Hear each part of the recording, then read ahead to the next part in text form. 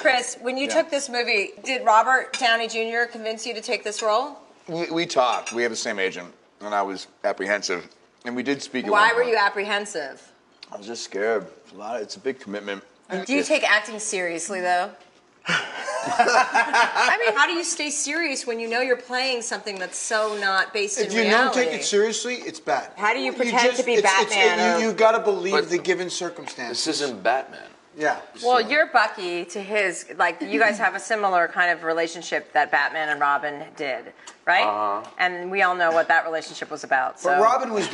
diminutive. Ro- Robin What was was it diminutive. So when you're ready to go down on Chris, just let us know. I know we'll all clear where you frame. are. We'll all clear camera and we'll all go to the We'll bathroom. Okay, Chris, let us know when you're ready. Okay. I'm ready to go down on Chris. Okay, obviously. I mean, you're. That slipped.